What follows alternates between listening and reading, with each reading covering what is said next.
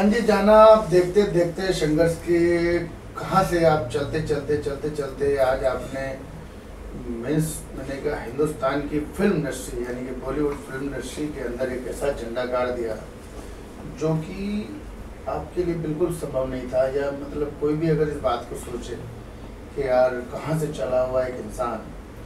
इकबाल का शेर है कि हम तो अकेले ही चले थे, जाने में मंजिल मगर लोग मिलते गए और कारवा बनता गया। तो ये जो आपका कारवा है, आपने इतना बड़ा कारवा बना दिया है, उसके लिए आपको बहुत सारी हमारी दुआएँ, शुभकामनाएँ, प्यार। और ये बताइए कि मतलब आपको, ये सफ़र आपका कैसे रहा कि आप कहाँ से चले थे और कहाँ से करते करते आज देख रहे हैं कि बॉलीवुड के हर दिग्गज, बड़े से बड़े अभिनेता, गायक, कलाकार, हर किसी के आज तक आज आपका नाम है अवार्ड है आपके नाम का सम्मान है, हर आदमी आपका सम्मान कर रहा है। जर्नी आपकी कैसी रही? वहाँ से शुरुआत करिए। बंगाल से आया था सर, चार तक पढ़ा हुआ अनपढ़ गवार। शुरू हुआ बीटी से। करते करते गजदर बाँध सांता कोर्स बाद में जू चौपाटी बाद में सांता कोर्स बाद में कांदीवली, शंकर गली। तो वहाँ पर एक शख्स से मेरा मुलाकात हुआ, जिनका नाम है महेश गुप्ता और उनके बड़े भाई श्री दिनेश गुप्ता साहब जो हमारे बीच में है। उसी मुलाकात, जब एक ज़माने में मैं फूल बेचा करता था तो डांस को छुप छुप के देखा, डांस मास्टर बना, डांस टीचर बना। वहाँ से शुरू करते करते बहुत बड़ा सफ़र है। आज का वो सफ़र नहीं है, आज का वो मुद्दा नहीं है मेरा, जो मैं अपनी सफ़र को यहाँ बताऊँ। आज का मुद्दा ये है, जो खुशी के दिन है, जो एक एक देश को जो रिप्रेजेंट करते हैं और देश का जाने माने एक युवा नेता, एक युवा धड़कन, एक कार्य सम्राट, जिनका नाम है माननीय श्री दिनेश गुप्ता साहब, जो आज हमारे ऑफ़िस में पधारे हैं। उनकी पूरी टीम के साथ मैं उनके छोटे भाई महेश गुप्ता को नमन करता हूँ। हमारे अश्विन जी आए हैं, उनको मैं नमन करता हूँ। तारा चाँद जी आए हैं, उनको मैं नमन करता हूँ। और साथ में बी के राष्ट्रीय प्रेसिडेंट गैरू जैन जी, अंकिता जना जी और तमाम जो जुड़े हैं इस ऑर्गेनाइजेशन में, इन सभी से मैं नमन करते हुए मैं इतने खाली बोलना चाहता हूँ, जो शख्स मेरे बाजू में बैठे हैं, ये कोई नाम का मोहताज नहीं है। आज पूरे देश को रिप्रेजेंट कर रहे हैं और मैं बहुत सौभाग्य की बात है जो मैं आज भी इनके साथ जुड़ा हूँ और ये मेरे साथ जुड़े हैं। लोग जुड़ते तो हैं, लेकिन लोग कट जाता है बीच में से। तो कटना बहुत लोगों को अच्छा लगता है, लेकिन बीच में थोड़ा सा मैं भाग गया था कुछ लोगों की वजह से तो काटा नहीं था, लेकिन काटने से खून निकलता है, यहाँ पे खून तो नहीं निकला था तो उसको काटना नहीं बोलता है, लेकिन बीच में थोड़ा कट गया था। तो आज हम साथ हैं तो लोगों ने मुझे बुलाया ऑफ़िस में, बुलाने के बाद बहुत सारे बातें बोला तो मुझे ऐसा लगा, शायद वो सच है, लेकिन व्यक्तिगत में, प्रैक्टिकली जब मैंने देखा तो वो सच नहीं है, वो झूठ है। और मैं आज भी दिनेश गुप्ता और महेश गुप्ता जी के साथ हूँ और आगे भी रहेगा और जब मैं मरेगा तभी भी मेरे साथ में रहेंगे। तो मैं इसलिए आज मीडिया को बुलाया यहाँ पर। एक एक बात ये है जो बहुत सारी जगह पे अफवाह फैलते हैं, जो दिनेश गुप्ता, महेश गुप्ता कल्याण जी पीठ पीठ पीछे कुछ बोलता है। ये अफवाह बहुत गलत है तो झूठा है। ये अफवाह भी बहुत फैलता है जो दिनेश गुप्ता, महेश गुप्ता, कल्याण जी का कुछ बोलता है। ये भी अफवाह गलत है। तो उस अफवाह को जो फैलाते हैं लोग, उसको से दिशा दिलाने के लिए हमने साहब को आज बुलाया ऑफ़िस में, जो मैं सभी को ये बोलना चाहता हूँ, जो दिनेश गुप्ता साहब, महेश गुप्ता साहब मेरे साथ है, मैं उनके साथ है, वो मेरे साथ है, और आने वाले कल जो हमारे शो होगा, शो के अंदर भी उनका योगदान रहेगा as a guest of honour वहाँ पर आएँगे। उनके हाथों से जो स्टार को सम्मान दिया जाएगा। इसके अलावा जो भी काम जब मेरा होगा, उसमें दिनेश गुप्ता, महेश गुप्ता रहेंगे। जब उनका कोई काम होगा, उधर भी कल्याण जी जाना और उनकी टीम रहेगा। और ये हम, वादा तो पहले किया था, लेकिन आज भी हम आप सबके सामने वादा कर रहे हैं, जो भाई हम कहीं भटके नहीं हैं। हम यहाँ इनके साथी हैं। और साथ इसीलिए है क्योंकि जब कोई आपको साथ देता है, आपके जीवन में जब पहला सीढ़ी होता है तो उसको नहीं भूलना चाहिए। और वो बहुत बड़ा, उस समय बहुत कठिन होता है आपके एक कदम को आगे बढ़ाने के लिए। उस कदम में आपको काटने के लिए बहुत लोग खड़ा होता है, लेकिन उस समय आपको साथ देता है, काटने को नहीं देता है तो उस इंसान को नहीं भूलना चाहिए। तो आज वो इंसान मेरे साथ बैठे। कांदीवली में बहुत लोग मेरे विरुद्ध में खड़ा होता था, मेरे मेरे डांस क्लास के बाहर हंगामा करता था तो दिनेश गुप्ता साहब आके उनको बराबर सबक सिखाता था। तो वो सबक सिखाता था। आज मुझे चाहे दुनिया जानता हो, चाहे बड़े बड़े मिनिस्टर जानता हो, लेकिन आज उस समय मेरे लिए मिनिस्टर दिनेश गुप्ता साहब था। कल्याण जी, एक बात बताइए कि ये सफ़र आपका जो आपने शुरू किया मीन्स मतलब यहाँ से इतनी मतलब इतना नीचे से, इस, कहते हैं ना, शून्य से शिखर, शून्य से शिखर पे पहुँचने का जो जो सफ़र है, एक कहावत है, जैसे अभी धर्म जी का पोता अगर कुछ करेगा तो वो इतिहास नहीं है। और अगर आप मतलब एक कदम भी चलोगे वो इतिहास बनते चले जाएगा। जी। तो ये किसी को टारगेट करने वाली बात है लेकिन आज आपने जो ये इतिहास खड़ा कर दिया फ़िल्म इंडस्ट्री में जी। इसके पीछे आपके कितने लोग साथ में रहे कहाँ कहाँ आपका मीन्स कैसे संघर्ष हुआ? मैंने ये भी सुना है कि पहले हर हर हफ़्ते आप माहिम दरगाह में जाते थे जैसे आप सफल हुए वहाँ जाना आपने बंद किया क्या बात है ये? नहीं ऐसा कुछ नहीं साहब ऐसा ऐसा ऐसा कुछ नहीं है। मैं माहिम दरगाह मखदूम शाह बाबा मेरे साथ है और मेरा साथ रहेगा क्योंकि मैंने वहाँ पर बहुत दिन निकाला है और आज भी मेरे दिल में है। और आपने कहा जो सफ़र दो इतिहास है। इतिहास तो हमें बनाना ही है क्योंकि गरीब इंसानी इतिहास बनाता है। करोड़पति का भी इतिहास नहीं बनाता है साहब। जैसे दिनेश गुप्ता साहब उत्तर प्रदेश से चल चल के आके आज वो कांदीवली से आज वो पूरी इतिहास बना रहा है। तो गरीब इंसान गरीब घर का लड़का इतिहास बनाता है और इतिहास वही बनाता है जो सपना देखता है। क्योंकि बड़े आदमी सपना नहीं देखता, क्योंकि उनके पास ऑलरेडी सपना होता है। वो क्या दिखेगा सर? उनके पास माँ बाप का पैसा होता है, वो क्या सपना दिखेगा? लेकिन जिनके पास कुछ नहीं होता है, वो सपना देखता है और सपना ही उसका इतिहास होता है। इतिहास के पीछे बहुत लोग हैं मेरे साथ में, जैसा मेरे वाइफ मेरे साथ है, अंकिता जाना मेरे बेरू जैन साहब, मेरा डी के पूरी टीम मेंबर और आप भी सर मेरे साथ में है कमल साहब। और तमाम मेरी मीडिया कर्मचारी मेरे साथ में है और मेरे डी के जितनी भी टीम है चाहे हर प्रदेश के जो लोग जैसे दादा साहेब फाल्के का स्टेचू आपका आपने इतनी मेहनत करके उसको पास करवा लिया है। जी। उसको कहाँ आप लगाना चाह रहे हो और मैं मैं आपके आने वाले आगे के कार्यक्रम मैं मैं दादा साहेब फाल्के दादा साहेब फाल्के जो हमारा बॉलीवुड के जन्मदाता है वो एक सौ नौ साल हो गया हमारे बॉलीवुड को लेकिन किसी भी स्टेट में आज उनका स्टैचू नहीं है। मैं आज आसाम गया था, मैं आपको कह दूँ, आसाम गुवाहाटी में मैं गया था तो वहाँ पर राज्यपाल साहब को जब मुलाकात हुआ, राज्यपाल साहब ने बोला, कल्याण जी, आपको गुवाहाटी में आपको जगह दिया जाएगा और गुवाहाटी में आपका यहाँ पर दादा साहेब फाल्के जी का स्टैचू होगा और बम्बई के लिए मैं धन्यवाद करता भारत सरकार के मिनिस्टर माननीय श्री रूपाला साहब, पुरुषोत्तम रूपाला साहब को मैं नमन करता हूँ, जो उसने, सबसे पहले उसने मुझे साथ दिया, मेरा गुरु है वो। और मैं नमन करता हूँ रामदास अटलवे साहब को, जो मिनिस्टर भारत सरकार, मैं नमन करता हूँ। फगन सिंह कुरस्ते जी को मिनिस्टर भारत सरकार, मैं नमन करता हूँ। श्रीपद नायक जी को, भारत सरकार, मिनिस्टर भारत सरकार, मैं नमन करता हूँ। कैलाश जी जी को मिनिस्टर ऑफ़ द भारत सरकार, मैं नमन करता हूँ। उत्तर मुंबई के एमपी गोपाल शेट्टी साहब को मैं नमन करता हूँ, जो इनका उन्होंने बहुत बड़ा दिलचस्पी दिया इस इस काम के लिए। और मैं नमन करता हूँ एफ़ के राष्ट्रीय प्रेसिडेंट माननीय श्री बी एन तिवारी जी को इन सभी के आशीर्वाद से ये सफल होने जा रहा है।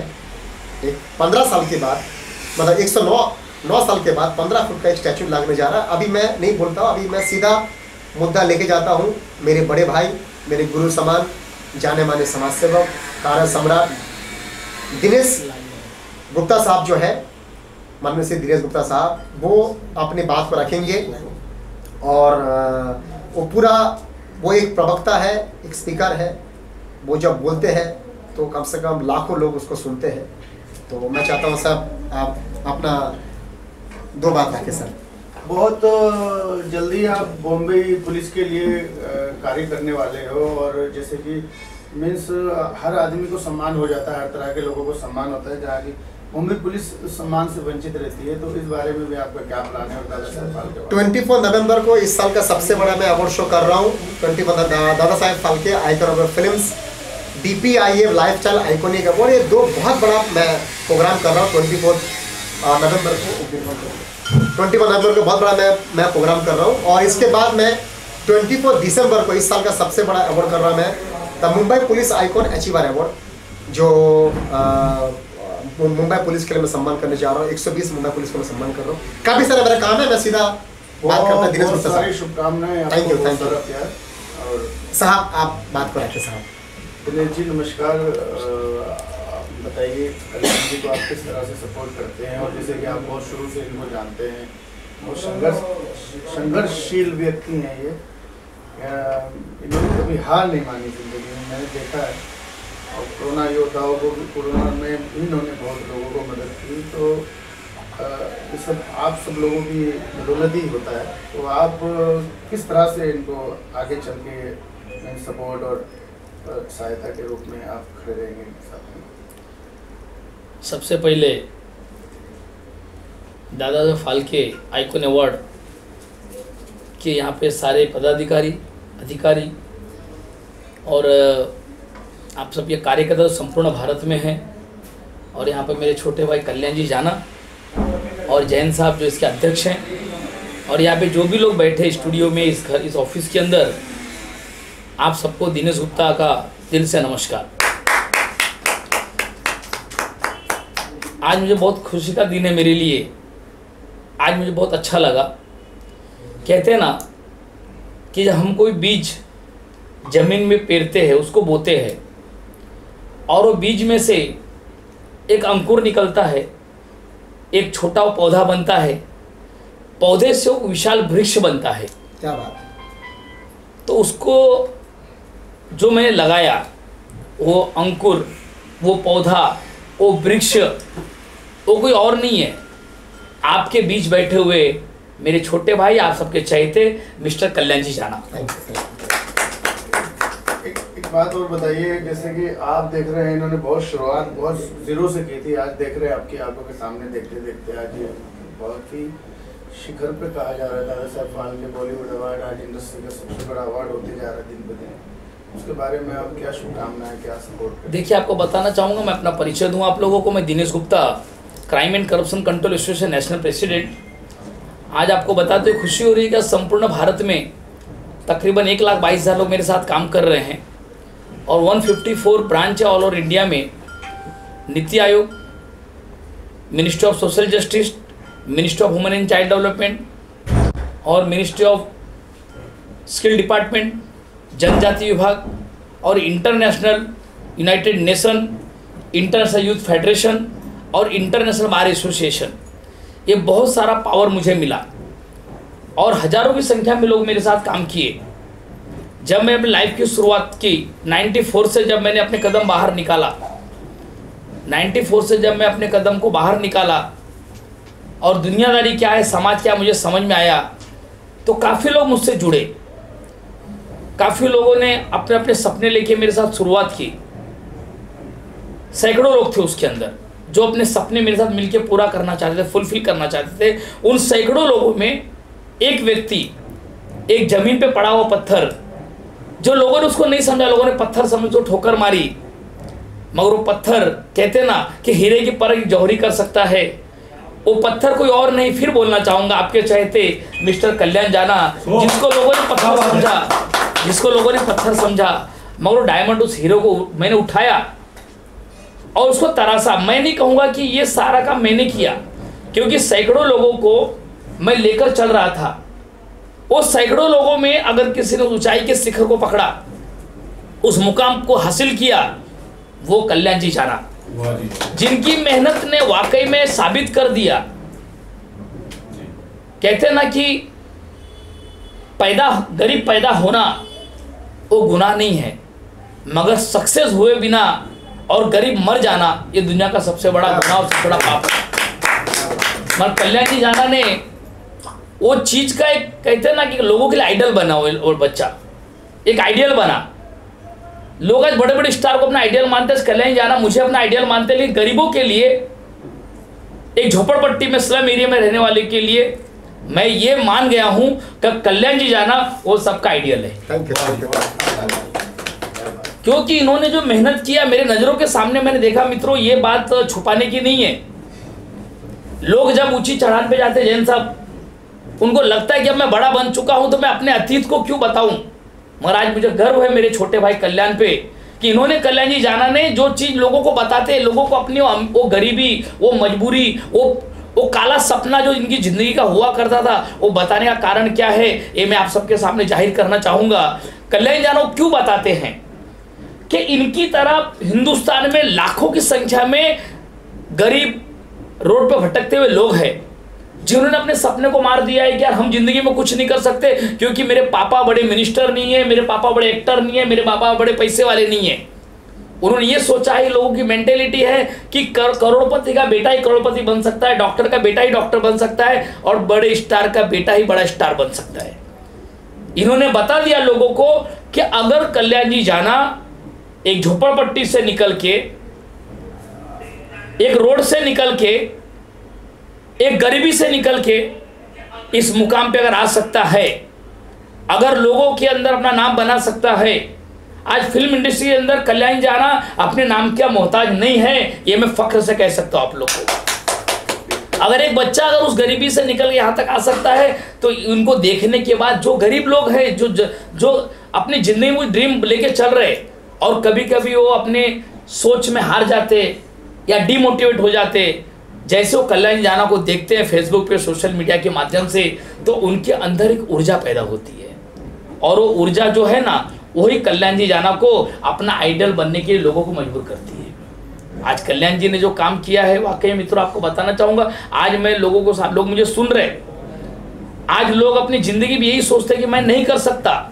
ये मैं नहीं कर सकता, मैं नहीं आगे बढ़ सकता। उसे कल्याण जी, एक आइडियल है। इनको देखने के बाद, हर वो आदमी कहते ना, कल्याण जी को सुनने के बाद और देखने के बाद, कब्र में से मुर्दा भी खड़ा होके दो मिनट बात करेगा।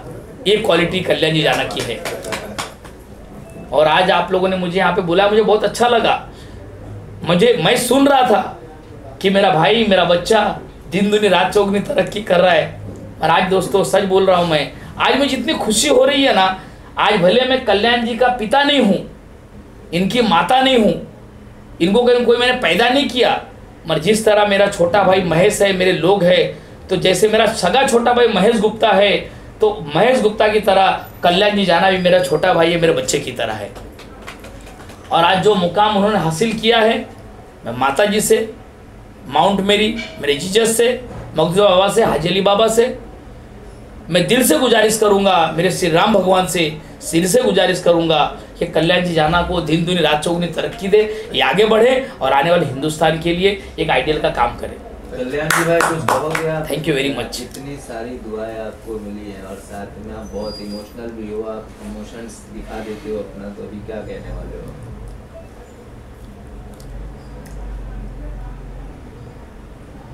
लाइफ ने बहुत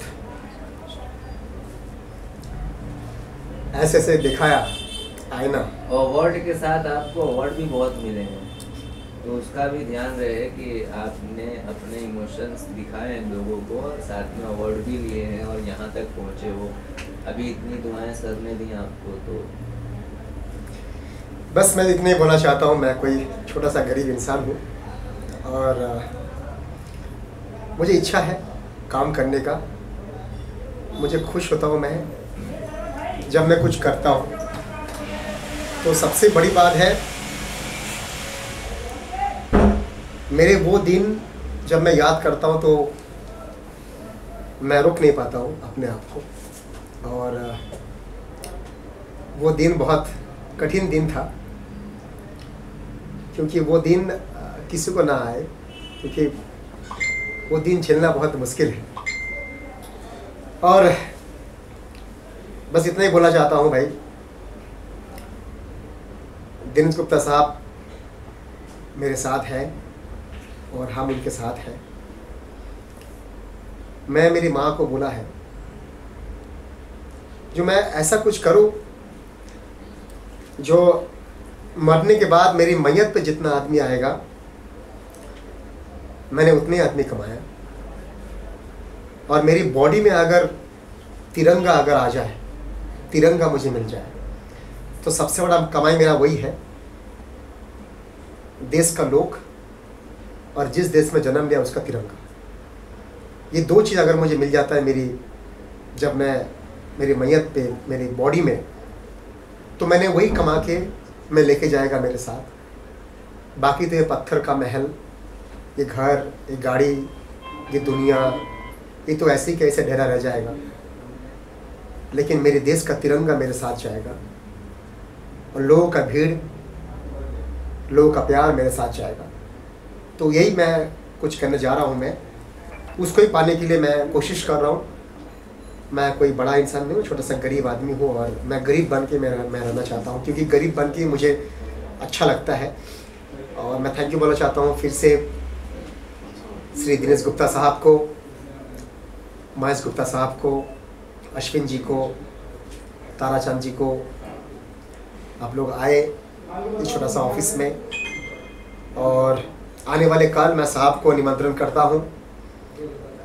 इस साल का सबसे बड़ा प्रेस्टिजियस अवार्ड शो है, जिसका नाम है दादा साहेब फाल्के। आइकॉन में फ़िल्म से चौथा साल हम बना रहे हैं। पहला साल तो बहुत लड़ाई किया था, लोगों ने केस कर दिया था आठ जगह पे। ये सबका मालूम था फ़र्स्ट ईयर सेकेंड ईयर भी कोरोना काल में क्या था? लोगों ने फ़ोन करना शुरू कर दिया पुलिस चौकी तीन चार पुलिस वाले को, तीन चार गाड़ी खड़ा है, वो नीचे और मैं ऊपर शो कर रहा हूँ। तीसरा शो भी मेरा कोरोना में हुआ था। उधर भी लोगों ने फ़ोन कर दिया, इसका शो ना हो। नीचे गाड़ी खड़ा है और मैं ऊपर शो कर रहा हूँ। तो चौथा यार है, हालाँकि कोरोना नहीं है तो धूमधाम से कर रहा हूँ मैं इस साल। इस साल सब बड़े स्टार हैं मेरे साथ। टीवी के बड़े स्टार हैं। मेरे साथ फ़िल्म के बड़े स्टार हैं। इस साल मैं कुछ अलग कर रहा हूँ, और इस साल भारत सरकार के कुछ आठ से दस मिनिस्टर हैं। छः प्रदेश के सीएम है। आठ प्रदेश के एक्स सीएम है। यहाँ के महाराष्ट्र से कुछ मिनिस्टर्स हैं, और बारह प्रदेश से बारह एमपी है। इतने सारे हमारा गेस्ट ऑफ़ ऑनर है, और हमारे जो चीफ गेस्ट है, वो आसाम के गवर्नर साहब, जगदीश साहब, मेरे गुरुजी, वो मेरे चीफ गेस्ट हैं। और मेरे जो बड़े भाई मैं आज ही बोल देता हूँ गेस्ट ऑफ़ ऑनर में दिनेश गुप्ता साहब उस प्रोग्राम में रहेंगे, उनकी पूरी टीम के साथ। और उस दिन मैं दादा साहेब फाल्के का स्टैचू का कर रहा हूँ, मैं इनोग्रेशन स्टेज पर। और उस दिन कुछ मैं और एक कुछ एक धमाका करने जा रहा हूँ मैं। देश के आर्मी, शहीद आर्मी के परिवार के लिए। उस दिन मेरा ये कुछ धमाका होगा। उसके बाद मैं ट्वेंटी फोर्थ ऑफ़ दिसंबर को मेरा सबसे बड़ा अवार्ड शो है। Mumbai police icon achiever award Mumbai police के शो होता है उमंग। उमंग में पुलिस को सम्मान करते हैं। लेकिन हम पहली बार पुलिस की फैमिली को हम सम्मान करने जा रहे हैं। क्योंकि लोग फैमिली को तब सम्मान करते जब पुलिस शहीद होता है। उसकी पहले कोई नहीं सम्मान किया आज की, आज तक। शहीद के बाद लोग सम्मान करते हैं, जाते हैं, बहुत सारे बाधा करते हैं, टीआरपी पाते हैं। लेकिन जीते जी कोई नहीं जाता है उनके परिवार को सम्मान करने के लिए। तो ये पहला शो होगा हिंदुस्तान का, इतिहास का। जो जीते जी, उनकी परिवार को उनका सम्मान होगा, जो परिवार उनके पीछे एक बहुत बड़ा पाचिल की तरह खड़ा होता है। और दूसरा, छत्रपति शिवाजी महाराज गौरव अवार्ड है, शो। हमारे छत्रपति के सलाबी वंश उदयन राजे भोसले साहब ने हमें ये परमिशन दिया था इस प्रोग्राम को करने के लिए। 2015 से हम शुरू किया है। और दार्शनिक मुंबई प्रेस मीडिया और पिछले मैं नौ, आठ साल से कर रहा हूँ, इवन नौवा साल है, जिसमें दिनेश गुप्ता साहब भी काफ़ी आए थे, महेश गुप्ता साहब भी थे उस प्रोग्राम में। और उसके बाद नया साल में ट्वेंटी फोर्थ ऑफ़ फेब को मेरा फिर से इस देश को मैं रिप्रेजेंट करने जा रहा हूँ, दुबई के था दुबई में। और वहाँ पर दादा साहब फाल्के इंटरनेशनल शो कर रहा हूँ, जहाँ पर दुबई के धरती में मैं टूरिज़्म को और कल्चर को मैं रिप्रेजेंट कर रहा हूँ। इस बार बहुत अच्छा हुआ, इस बार हमारे पंत प्रधान श्री नरेंद्र मोदी जी, जो हमारे देश के जो रखवाले हैं मेरा तो मे, मेरे लिए वो भगवान है क्योंकि मैं मैं प्रधानमंत्री जी को मैं भगवान की तरह मानता हूँ क्योंकि जिस तरीके से देश को रक्षा कर रहे हैं तो रक्षा करने वाले को मैं भगवान का रूप देता हूँ मैं। भगवान तो नहीं है भगवान का रूप है। तो उनके जो छोटे भाई माननीय श्री प्रहलाद मोदी जी मेरे साथ थे बीजेपी के राष्ट्रीय वाइस प्रेसिडेंट शाम जाजू जी मेरे साथ थे और काफ़ी सारे स्टार थे कमाल साहब भी थे मेरे साथ बी आशीष भी थे मेरे साथ। तो बहुत अच्छा शो हुआ। और मुझे अच्छा लगा जो मैं देश को रिप्रेजेंट कर पाया दुबई में। हमारी बॉलीवुड को मैं रिप्रेजेंट कर, मैं कर पाया। 109 साल के बाद आइफा होता है गुरुजी फ़िल्म फेयर होता है आइफा होता है बड़े बड़े अवार्ड शो होता है, इंडिया में और इंडिया के बाहर।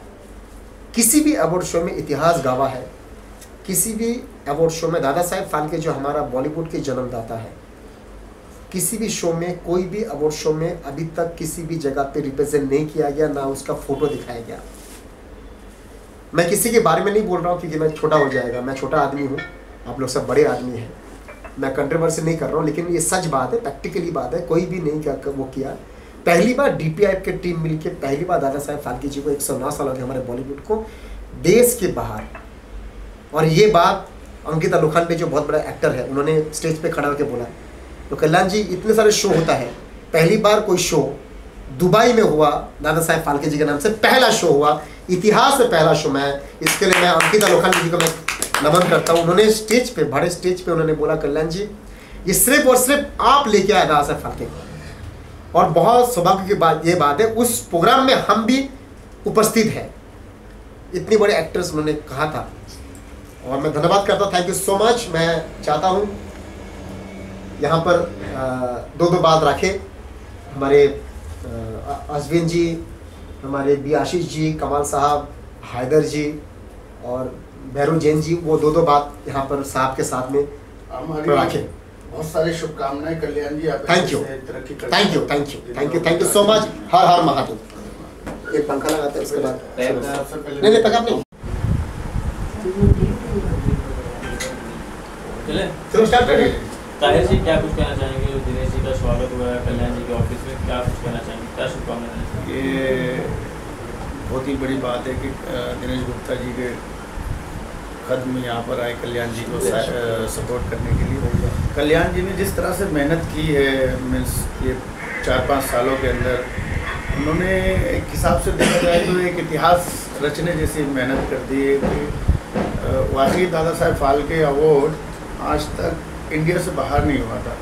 ना इसको कोई प्रजेंट करना चाह रहा था। लेकिन आज कल्याण जी जाना, इसको भारत से लेके इंडिया के बाहर जाके इन्होंने किया और अब इनकी तमन्ना है कि विश्व में हर जगह हो, जैसे फ़िल्म फेयर आईफा होता है।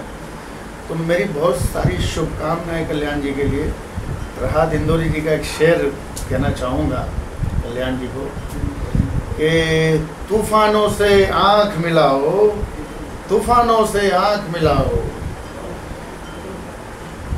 लहरों पर वार करो मल्लाहों का चक्कर छोड़ो और तैर के दरिया पार करो।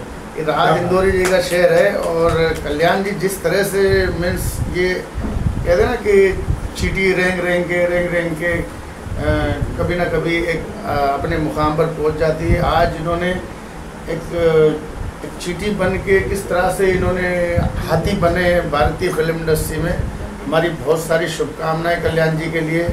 दिनेश गुप्ता जी के लिए बहुत सारा प्यार, बहुत सारी दुआएँ। और आप दिनेश गुप्ता जी और आप इसी तरह से कल्याण जी को सपोर्ट करें इनके कार्यक्रम में और इनकी हर चीज़ों में, ताकि ये इस इस एनजीओ को और दादा साहब फाल्के फर्टिनिटी को पूरे वर्ल्ड में ये इसी तरह से फैला चुके और दुनिया के, वर्ल्ड के हर तरह के एक्टर, हिंदुस्तानी फ़िल्म इंडस्ट्री से अलावा बॉलीवुड तमिल, तेलुगु, मलयालम, कन्नड़, उड़िया, बंगाली, भोजपुरी, सभी तरह के कलाकार वर्ल्ड में हर जगह के लोगों को सम्मानित करें ताकि ये वर्ल्ड के इंटरनेशनल एक्टर ब्रैड पिट से लगा के एंजेलिना जोली जिम कैरी वगैरह सबको ये सम्मान करें। इस तरह का ये ये प्लेटफॉर्म उस लेवल पे जाए, ये मेरी बहुत सारी शुभकामनाएँ। कल्याण जी के लिए कि कल्याण जी आपने जिस तरह से कुछ ही सालों में इतनी तरक्की कर ली है इन और आप बहुत सारी तरक्की करें ये मेरी दिल से दुआ है और आप मखदूम शाह बाबा की दरगाह भी जाया करें। Yes, क्योंकि yes. मैंने देखा है कि अल्ताफ़ राजा जब तक मखदूम शाह की दरगाह पे रहे तो उनका सितारा बहुत बुलंद रहा। राजा हसन जब तक मखदूम शाह बाबा की दरगाह पे रहे बहुत सितारा बुलंद हुआ। जैसे आदमी को थोड़ी सफलता मिल जाती है तो फिर वो क्या होता है कि गाना बंद कर देता है तो उसमें बहुत क्षति हो जाती है। आज ही जाएँगे बाबा मखदूम आप इस तरह से अपना ये जो कार्यक्रम आप अपनी गरीबी में वहाँ रो रो के दुआ मांगते थे और मखदूम शाह बाबा ने आपकी दुआ सुनी। बेशक। और जो आप चाहते थे वो आपको बनाया।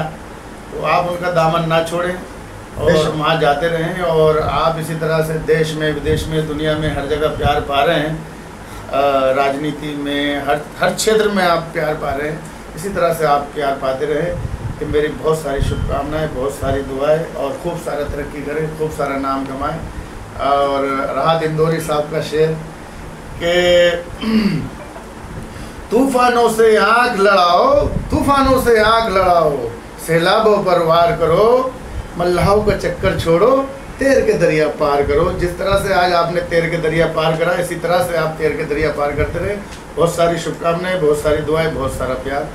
Love you brother thank you मैं सामाजिक कार्यकर्ता Mahesh Gupta crime and corruption control association का नेशनल मीडिया चीफ आज गरीबों का एक्टर कल्याण जी जाना, कि इस कार्यालय में, अंधेरी के कार्यालय में, जहाँ पे दादा साहब फाल्के आइकन अवार्ड से संबंधित कार्यों को अंजाम दिया जाता है, आज उनके निमंत्रण को स्वीकार करते हुए, आज बड़े भाई साहब national president, crime and corruption control association के आज यहाँ पर आए हुए हैं। बाकी सारी बातें कल्याणी जाना का, जो भी पूर्व था, सारी बातें हमारे बड़े भाई साहब ने बता दिया। मैं ज़्यादा कुछ नहीं कहूँगा, इतना ही कहूँगा कि पंद्रह बीस साल से यानी स्ट्रगल करते हुए देखा हूँ, और एक कल्याणी जाना ऐसा है कि मुझे भी साथ में ले लेके स्ट्रगल करता था। रात रात को मेरी भी नींद खराब करता था। हम लोग जाते थे तो कहीं ना कहीं मतलब जैसे गाने जहाँ पे म्यूज़िक डायरेक्टर के पास या क्या बोलते हैं, कोरियोग्राफर के पास, कहीं पे भी अपने फ़िल्म इंडस्ट्री से जुड़े हुए किसी के भी पास जाते थे तो मुझे भी साथ में लेके चले जाते थे। तो मैं इनको आज से नहीं, काफ़ी सालों से जान रहा हूँ मैं, जब फूल हार के कारोबार से लेके, कचरा चुनने वाले कारोबार से लेकर मैं जानता हूँ उनको। तब से लेके आज तक वो सिर्फ़ और सिर्फ़ स्ट्रगल कर रहे हैं और ईमानदारी से कर रहे हैं। और उन्होंने यानी जी कल्याण जी को यानी जिन्होंने भी साथ और मदद दिया है यानी कभी भी उनका दामन नहीं छोड़े मतलब। और मैं चाहूँगा कि दुआ करूँगा कि दिन गुना रात चौगुना तरक्की करें और इसी के साथ मैं अपने शब्दों को पुनः विराम दूँगा। थैंक यू थैंक यू चलिए एल जी क्या कुछ कहना चाहेंगे? कल्याण जी कल्याण के बारे भाई का शुक्रिया ये अवार्ड से नवाजते रहते हैं ये देखिए प्यारे प्यारे सर्टिफिकेट देते हैं सबको। और इनको पूरा इंडिया जानता है। अब तो इंडिया तो छोड़िए अब तो पूरी दुनिया में इनके चर्चे हैं और छोटे से बड़ा होना बहुत बड़ी बात है। ये स्ट्रगल करके आज जिस मुकाम पे पहुँचे, लोगों को सीख लेनी चाहिए। जो लोग मेहनती हैं, वो इनसे आगे सीख लें तो हो सकता है उनकी भी लाइफ बहुत आगे जाए।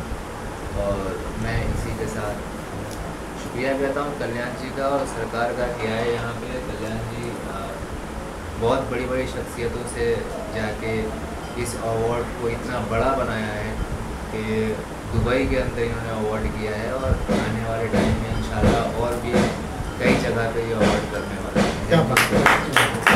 हाँ हो। नमस्कार दोस्तों मेरा नाम है कॉमेडियन बी आशीष। और मुझे याद आ रहा है कि बहुत पहले की बात एक अवार्ड शो था।